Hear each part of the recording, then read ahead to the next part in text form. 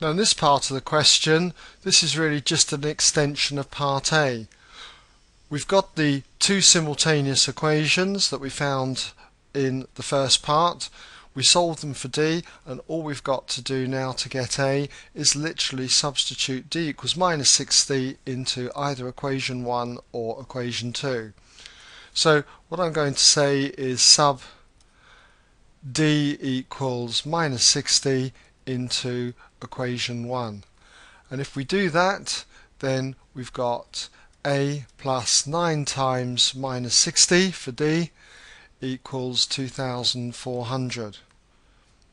And then if I work this out, we've got a 9 times minus 60 is minus 540, and that equals 2400. Add 540 to both sides, and what you have is A equals 2940. 2940 then for A.